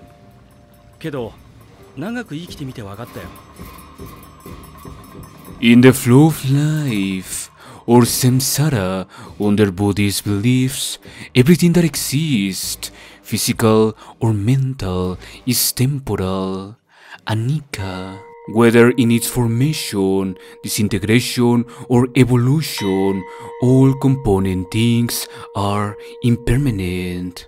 That is one of the fundamental sutras of Gautam Buddha, or Buddha for simplicity. いろんな経験や何やらが積み重なっていくとどんどんいびつな何かが出来上がっていく To recognize that existence dilutes is to understand that all suffering, misery, or frustration, the sources of dukkha, are a natural part of life. Thus, the liberation from all dukkha first necessitates the detachment from all anicca, the realization that there is no pure consciousness to find, no perpetual or inherent essence to subtract, a confession that the self is nil, anatta. These are the three marks of existence in Buddhism. Furthermore, the result of an existence dependent on other phenomena, but all, including ourselves, without essence, is known as shunyata, vacuity, voidness, or emptiness.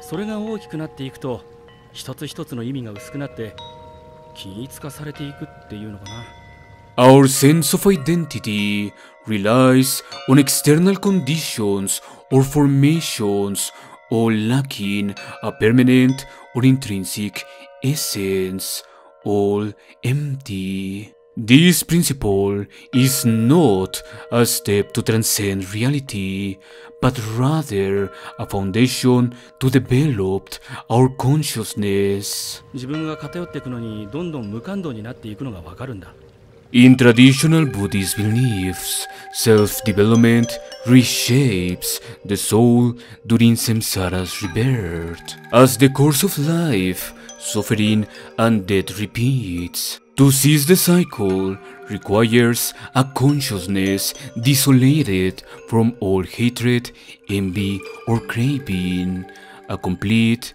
inner emptiness, without the need for any subtraction nor addition, that which can exist as it is. Hence, only one possible state remains Nirvana, a condition that literally translates as blowing out or becoming extinguished. 最後にそれはぽっかりといびつな穴になる In these worlds, where death is absent and the physical body is stationary, the everlasting chain of life may shudder through the only part of the students' bodies that is still subject to change their minds. Adrift, mind through time slowly distills all beings until an acquired form preserves their existence for eternity.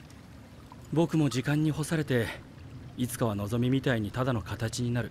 In the anecdote about the inventor of death, Rajdhani recalls how this peculiar individual, through hideous actions and firm determination, aims to liberate himself from the definitive rule of all these worlds. 彼は人の死によってこの世界の静止を打ち破ろうとしたんだ実を言うと僕はちょっとだけ彼に憧れを抱いたんだ倫理観はともかくこれはこの世界に対する挑戦だからね But inventor of death lives in contradiction to Rajhani's beliefs. Anger, hatred, and grudge are all components of his persona. Determination is his only facet to admire, the unbendable resolution to exercise his will against this world.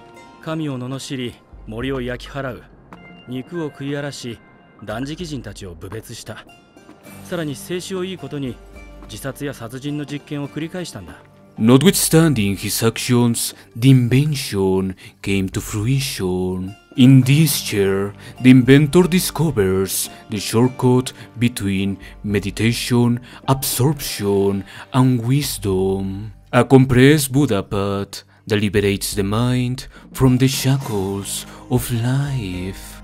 死んだ彼は以前と何ら変わらないように見えただが変化は日を追うにつれ現れた発明家はもう何も望まない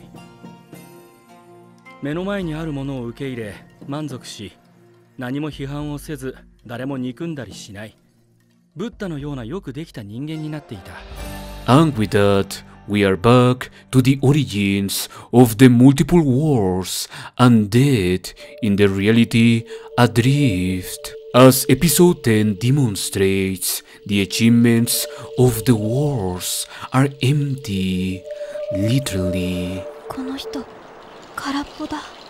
the context of this scene implies that this version of war seeking his own death jumped into this endless gorge and in it he found internal peace, leaving behind only an empty carcass, not at all different from what Hosh attained upon sitting in his electric chair.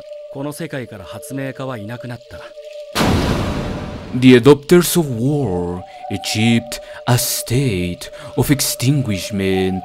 This is the definitive phase of all lives adrift to make the mind void and, similar to nirvana, end the cycle of existence, assuring that no source of dukkha can invade their thoughts and no impermanence can govern their culture.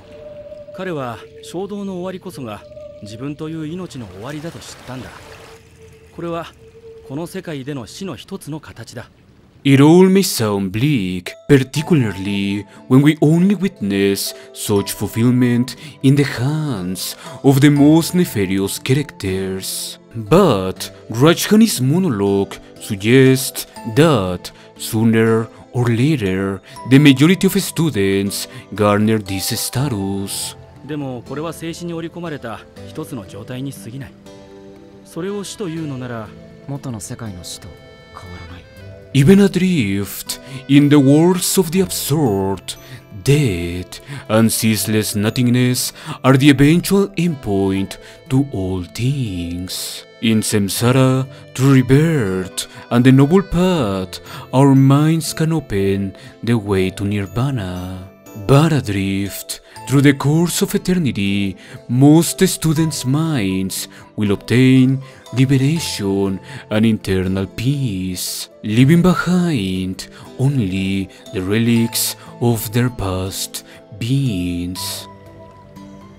ああ魂なんてものはなくて意識は何の意味もなく生まれてただ消えていく人生は果てしない徒労だ Without a doubt, Rajdhani is the most prominent positive force that contrasts war's behavior. He doesn't enact ill over the world, yet his insightful mind grows in the shape of a forest.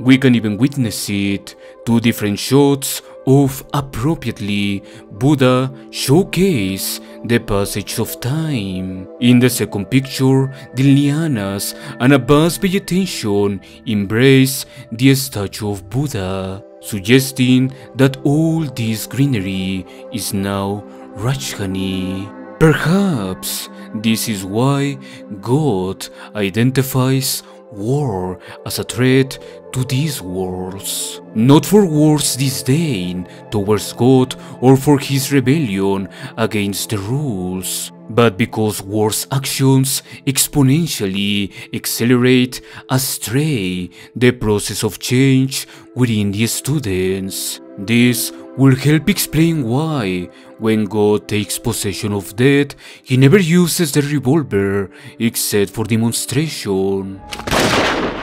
If this theory is correct, it will imply that God's actions, despite all his schemings, are somewhat altruistic. God will create a context where all the students adrift have the potential to elevate their existence by polishing their minds and end all life impulses on their own terms. Thereby, the ultimate goal of the drifting will be to reach nothingness. でも全くの無意味だからこそ生きているこの瞬間 その輝きは尊いと思うんだそれはその時その人だけのものだからね Here lies, within this dialogue from Rajdhani, the solution to an empty existence and the enigma of the drifting, the acceptance of a meaningless reality to encourage the enjoyment of life itself. Not hedonism, but the mere delight of being alive.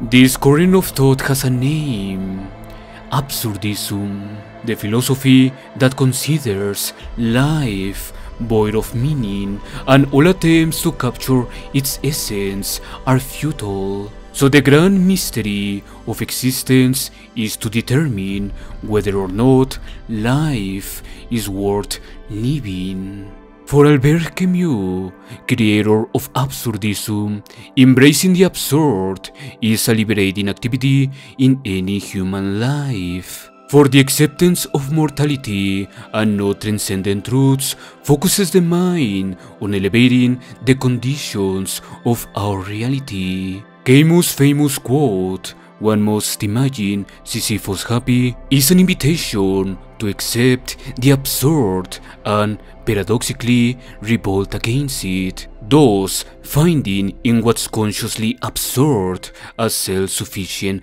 satisfaction, a life without false hopes or illusions, but with a freedom that allows us to live the bleakness of reality to its fullest. In episode 7, Nagara receives a similar lesson from his friend Futatsuboshi. いいんだよ見つからなくたって、大事なのは探したっていう事実それだけなんだから Like a metaphor for the meaning of life, in Babel, the students work for an objective that may only exist in fairy tales. But the result doesn't matter. Futatsuboshi is seeking to make the best of what he has. He knows about the lie that governs over his life, embraces it, and in consequence lives a happier life. After all, the real meaning of life was the friends we made along the way. 何の意味もないこの世界だけどでも時折素敵なことが起きるだから僕らはやっていける However, with war, eternity no longer leads to inner improvement but mutates in response to external and involuntary stimulations. 今この世界の存在を脅かす者がいるそれは戦争だ Based on the subtitles, God is not referring to any this world, but rather to the students living in it. As war's death denies them any potential development when he forces them to become hollow objects. Something similar happens to the twins. The one-of-a-kind gun they use, with its toy appearance and goofy sounds, contrast the realistic revolver born from war's essence. The implication here is that the toy gun they use doesn't contain the power of death, nor does it conquer or develop. Instead, it is, as one of the twins calls it, a skip to the moment of emptiness. And this fact is what denies the aforementioned theory that God could be altruistic. He doesn't care about the twins killing each other with a prototype of death because that is his creation. God forces the students to live adrift, but after that, he is indifferent to the students' lives as long as they exist under the conditions of these wars. By the end of the story, we have witnessed what appears to be the three most likely outcomes of those living adrift. To embrace voidness like the numerous war, a forced transmutation by the power of death, or the natural and luminous growth of the individual, like Rajdhani.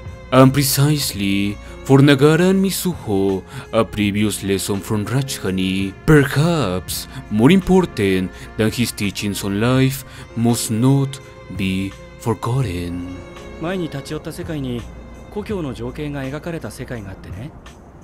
それは恐ろしいほどに正確で鮮明。何より神秘的だった。不安になるくらいにね。元の世界より元の世界らしい世界だった。その世界の主は病的なほど思い出にとらわれ故郷を描き続けたんだ。Nostalgia is a tool to distort the past. It protects the mind and the ego by altering our filter of reality. Dissimulation, as Nietzsche will call it, it's that comfortable illusion of representing the world in sync with our sensitivities or biases, rejoicing in the pleasure of avoiding reality as it truly is. A deception that blends in memory until it becomes indistinguishable from the truth. 簡単な話。彼は現実を受け入れなかったんだよ。恋人も彼に目の前の現実を生きてほしいと願っていた。でも彼は変わらなかった。その子は彼と美しい思い出じゃなくてまだ形のない未来を一緒に作りたかったんだ Naturally, the aftermath of these monologues ends with Nagara triggering a memory of Nozomi, of tragic optimism and a deceptive promise. And Nagara cries. Now that the route to escape the drifting is available, this fable from Rajdhani warns Mizuho of any wistful memories and false idealism in discrepancy with a disheartening reality. Once Nagara and Mizuho reach their new home, they will become prisoners of reality, unable to escape its jurisdiction or disappointments. 果たして自分は本当に現実を生きていると言えるだろうかって But they must confront life And with this disposition, Nagara and Mizuho are ready to return to the real world. At this point, they're the only two capable of doing so. これで準備は整った。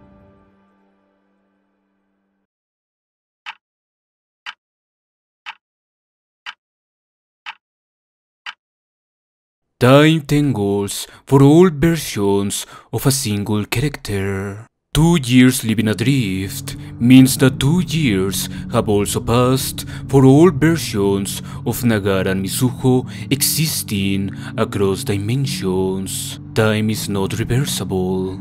This is why Rajdhani's plan in episode 6 is unrepeatable. His method relies on the students' connection with the school, where their powers and the drifting originate. But by the end of the same episode, they graduate, losing their connection to the school. However, in the follow-up episodes, new revelations emerge. みずほの能力は静止に関わる何かなのかもしれない Nagara's new plan to return home involves a pure reality like our own, where the paranormal never became more than a rumor. Once there, they will substitute their analog version by fusing their bodies into one. 私に For someone like Yamabiko or even Rajdhani at this point in the story, whose lives extend beyond what is human, the real world is not an option. There is no life for them to assimilate. Of their physical bodies, only dust will remain. Adrift, after living for millennia, their futures cannot subsist in the real world. 過ぎた時間は取り戻せないでも君たちはまだ間に合う With the cats, another problem emerged. In the real world, cats don't talk or have superpowers. I know, what a shock. This fact once again indicates how the absurd flourished in their original world. Just like war brings a plague from one world to another, God settles a series of superpowers in this world, explaining the strange supernatural incidents that happened in their school long before the drifting. 猫たちはもう向こうでは生きられないよ A version of Mizuho's cats still exists in the real world, but when she and Nagara aspire for a mundane reality, the pets with human-like intelligence collide with their goal to attain. A similar concern previous to her death existed within Nozomi. A gap in the drifting towards an uncertain reality is the light Nozomi saw, and thus episode 6 illustrates the shadow of the deceased eclipses her life's pathways. Furthermore, substitution being a new route makes them apprehensive about the risks of losing their memories, sense of identity, or even their lives. If the characters fail and reach another reality where Nozomi is dead, Nagara has no hope. For no one can return from death, exist without a body, or rewrite the past. Unlike the bear he left to die, the regret and impotence will become another scar on his memory. 無駄だよもう無理だよ To move forward, Nagara needs to accept the possibility that Nozomi may also be dead in their new reality. That idea creates resentment, the poisonous memory. For Asakase, this means perpetual dissatisfaction. 元の俺たちは違う人間なんだぞここも元の世界も変わらない分かってるだろ俺には何も残らなかった But for Nagara, its motivation to take the compass and aim for a world of realism, but also prospect. どうせ世界は変えられないそれなら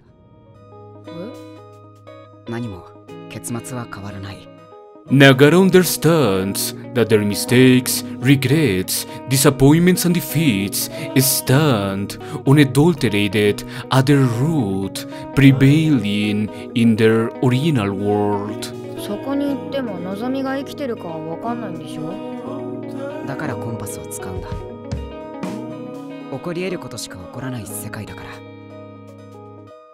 可能性をもう一度振り直せ And so, besieged by this moral of insight, Nagara transmutes his experience into the fuel to pursue and catch Nozomi's light.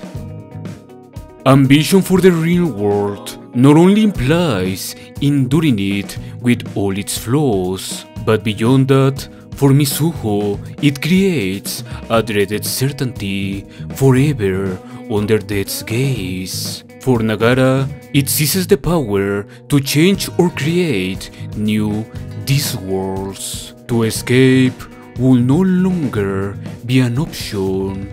実は元の世界には簡単に帰ることができるんだただそれには覚悟と犠牲が必要だ The concession to renounce their powers is the necessary sacrifice to escape the drifting. In episode 6, the characters have resolved, but they don't sacrifice anything, merely dragging and accepting the fantasy of the drifting while also attempting to depart from it. あの時このことを知っていたら結果は変わっていたかもしれないな Ergo, it is not a dichotomy between the desire to escape these worlds and not being able to, ここから出てはいけない but between the firm determination to abandon the absurd and the struggle to act according to the desired result. 出られないとは言わないんですね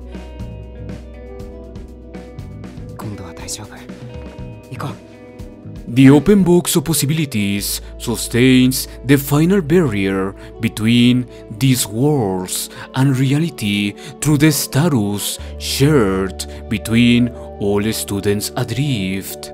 that which is their unchanging condition, stasis. だから瑞穂自身の可能性に気づけなかったのか To obtain the mundane, Mizuho must give up immortality to close the box anew, returning uncertainty to their lives and embracing the immeasurable future.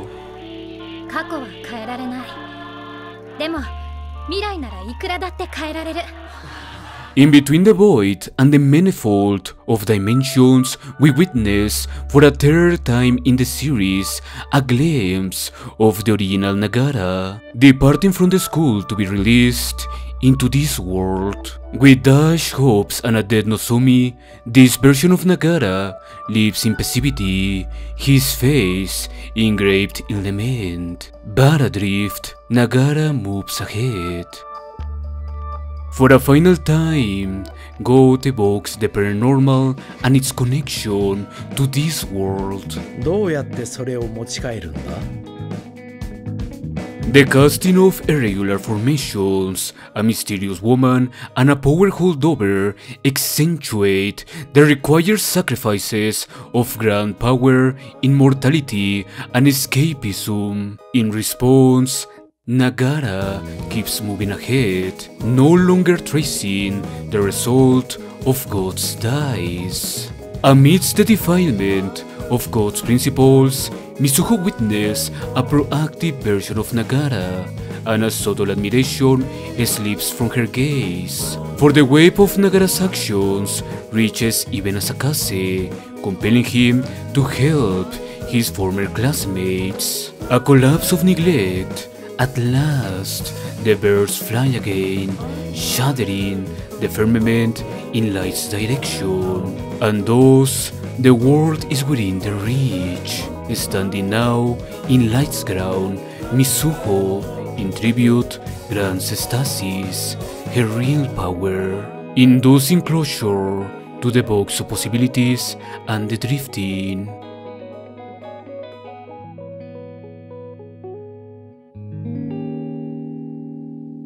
Nagara and Mizuho enter reality.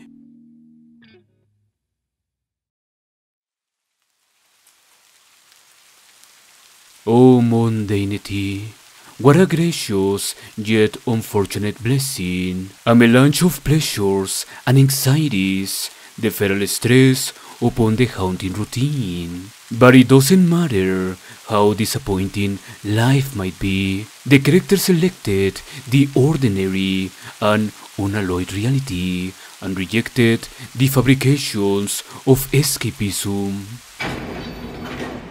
In a way, Sonny Boy is an anti-isekai.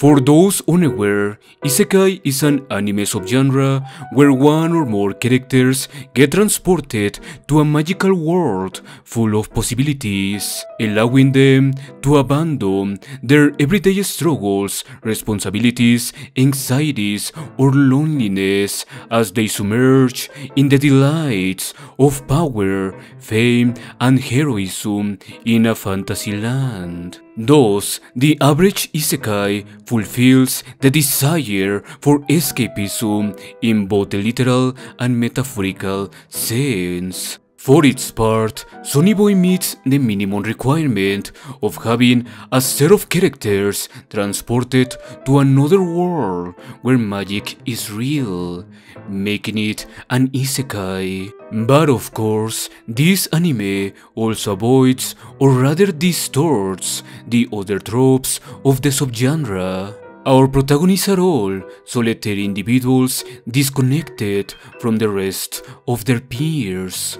However, in the drifting, their new powers provide no happiness or fulfillment.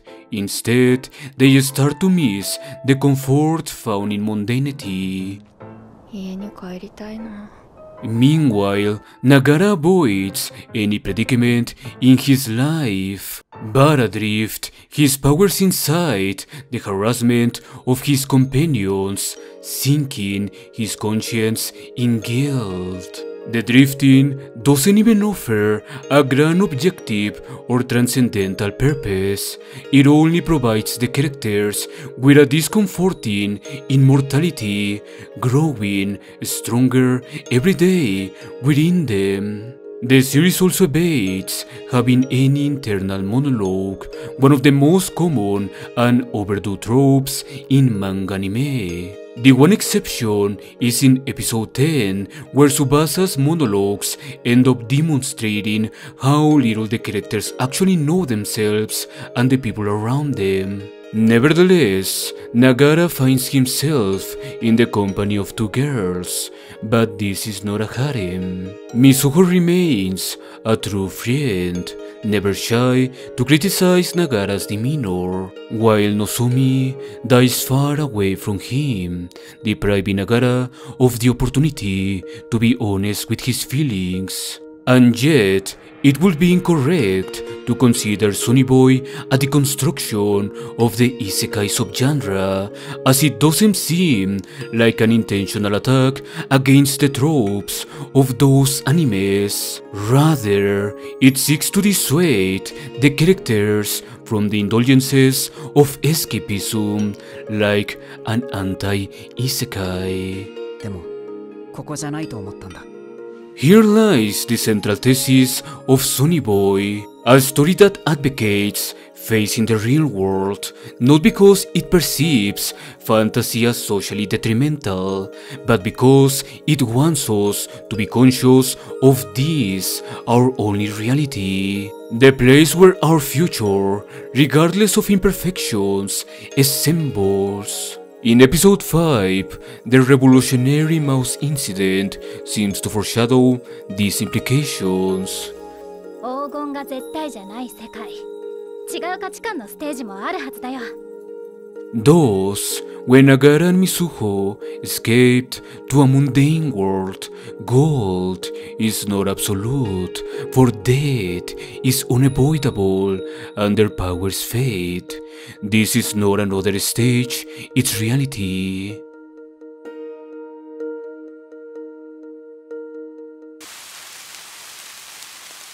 And the real world canvas is grey. It's light, tinged with dismay. Nagara, now legally independent, uses his autonomy and inner maturity to do, unsurprisingly, mundane, everyday activities. From the classroom to a part-time job, from boredom to exhaustion and no attained satisfaction But glimpse a promising light, a smidgen of Nagara's proactivity and a spark of optimism. At last, Yamabiko and Kodama reunite. じゃあいつか僕とした約束を果たして君はここから飛び立つんだここは本当の世界じゃない In the past, Yamabiko failed to keep his promise, but indirectly, through Nagara's actions, he accomplishes Kodama's will, attaining the light he once dreaded to lose. However, this reality of remarkable normality evokes doubt in Nagara. A girl once cast in mysterious lighting is now another gear of the system. Just a regular person is struggling with the standards of contemporary life. She may have her complexities and difficulties, but she is also mundane. From those two years submerged in a sea of extravaganza, only one relic remains. Nozomi's holdover in an endless rumble within the light's interior. For once, past events favor Nagara. Two compasses, one copycat, sacrificed per God's stipulation to enter stasis, while the original, handed by Asakaze, persists in this world where no Nozomi lives. and Undead subsist.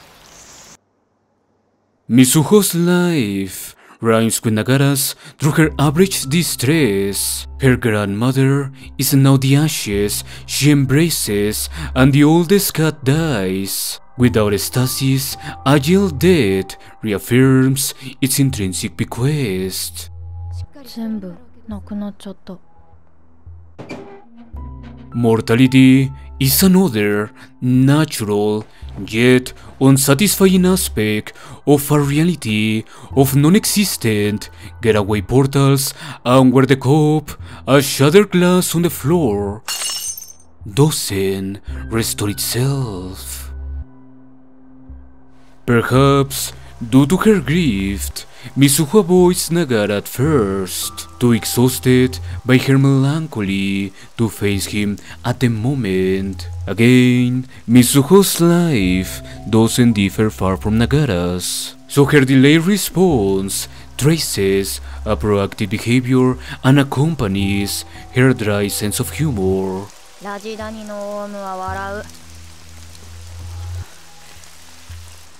Beneath the rain, during memories of other worlds and avenues considered, honesty decides to flourish.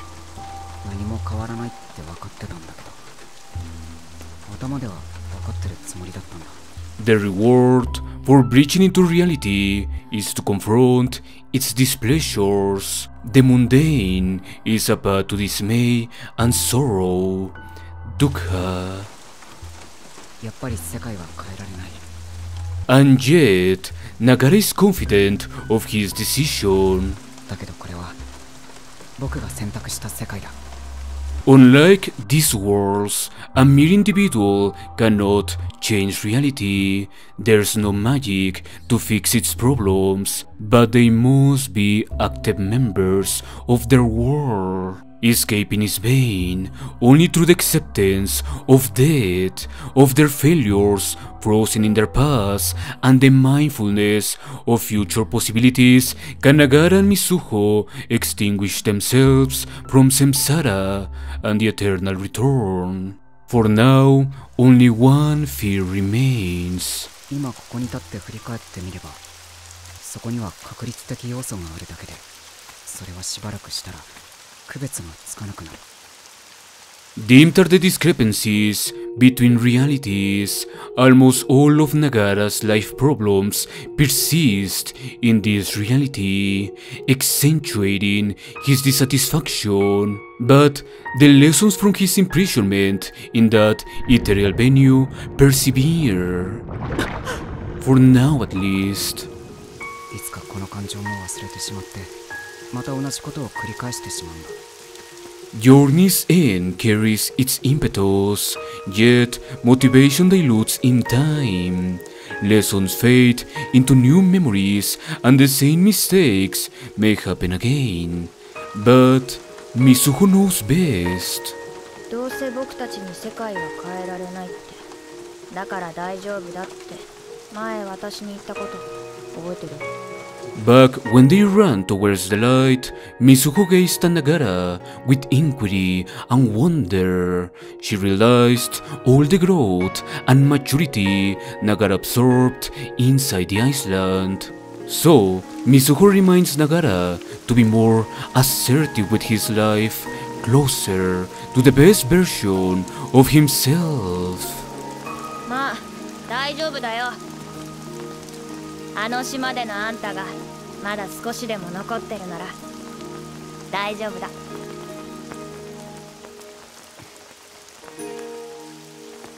They both depart with a smile on their faces. After all, 私たちはちゃんと進んでるはずだよ。ここで起きたようなことが向こうでも起こっているかはわからない。でもここでは確かに起きたんだ once Nagara made a promise, もう一回友達になろうってね約束 the code to black foreshadows that their promise will not be fulfilled. Nagara now cares about the birds, tries to help them, but he doesn't take them home.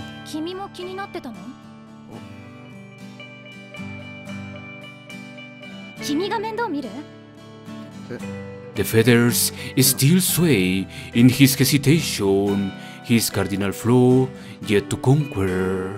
In the passage of life, Nagara locates in the station of disappointments, where the distant laughing girl, sickness and death, and his parents' neglect prevail in his life.